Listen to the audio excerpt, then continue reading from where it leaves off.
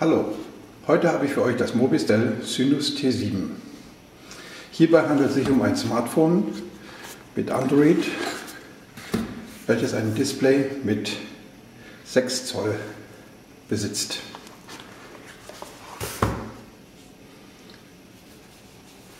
Hier sieht man das schön.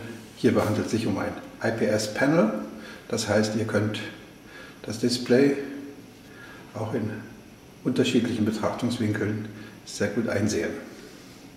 Schauen wir zuerst einmal an, was der Hersteller alles dabei packt. Da wäre zum einen ein USB-Ladeadapter mit dem passenden USB-Daten- und Ladekabel, einen In-Ear-Kopfhörer,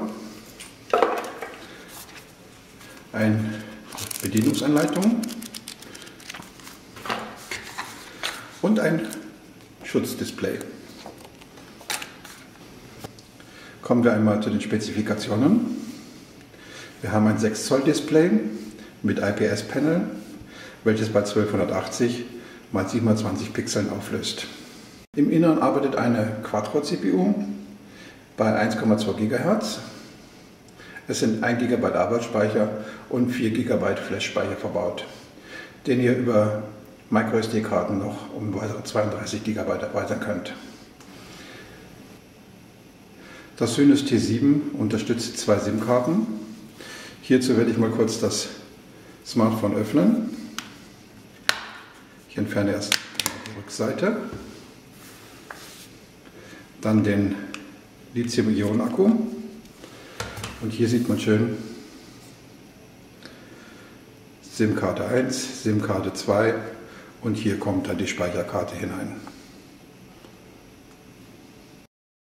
Am Mobistel sind zwei Kameras zu finden, eine Frontkamera mit 2 Megapixeln und auf der Rückseite eine Digitalkamera mit 13 Megapixel und LED-Blitzlicht.